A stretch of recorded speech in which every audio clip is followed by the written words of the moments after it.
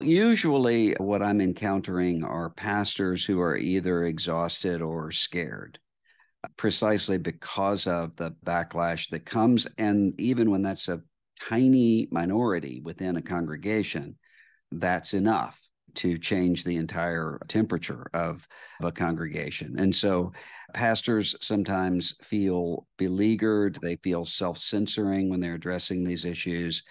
And I think what's called for is courage.